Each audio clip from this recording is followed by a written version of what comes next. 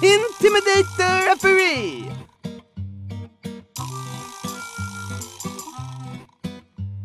Hello, I am Rudi Latka, best football manager Rudi Latka, and uh, today with film crew to tell you how to be best uh, uh, intimidate the referee. Videojug, best. Pay them visit before the game tactic to pay visit before game. Mm, can confuse them. Maybe in dressing room, maybe at their home. You can't go over to their house, knock on door. They will not expect it. Mm, maybe visit them at work if they are not professional referee, might have office job, something. You can say hello. Appeal for everything in football, uh, make sure you appeal to a referee for everything that you can. He might uh, think you're a joke, but it's best to appeal because if you don't appeal, he's not gonna give you anything, you know? So uh, do some shouting, maybe wave your arm in the air, point at the thing, shout, uh, our ball, our ball, our ball!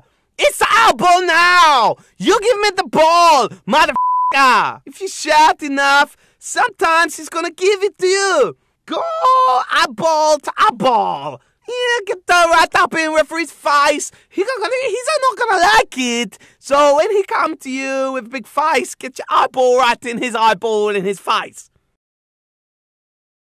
Grab him. Every man has his price. Mm, some ladies do as well, you know. My mother, very cheap.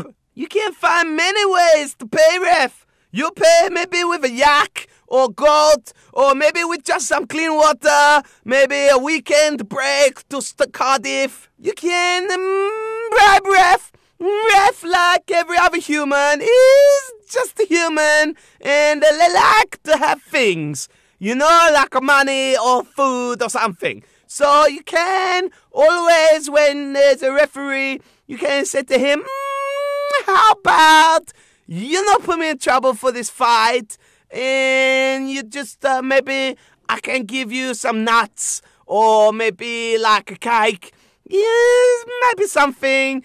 You can work it out, have agreement." Abuse him in my country where I live, uh, we have many ways to insult the referee. You know, we say he's stupid or something. We can compare him to maybe a cloud or a yak or something. And we use uh, England words like, you know what you use, like X, your face, your f***ing bastard. I don't like your to be smelly, your pig.